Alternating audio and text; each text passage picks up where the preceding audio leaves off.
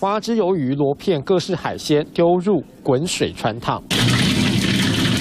捞起后再浇上热油，让口感提升，最后放上甜豆摆盘。这道爆炒双脆来自华国大饭店的桂华轩。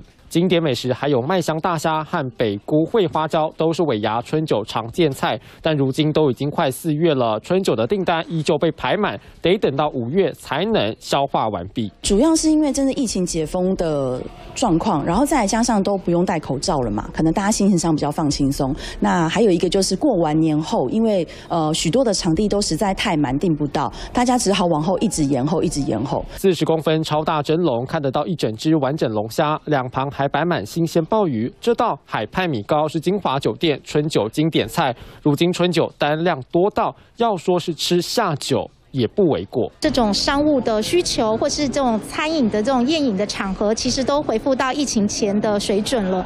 所以呢，在呃大家在预定场地的时候，就常常发现说，他们想要的日子可能已经被预定额满。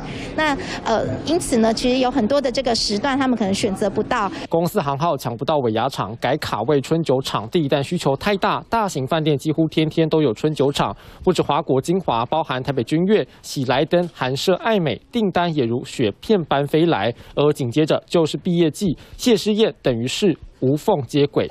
各大饭店满手宴会订单，从去年中一路畅旺，恢复疫情前水准，渴望全年宴会接单量再创新高。三星黄燕杰、蔡俊奇台。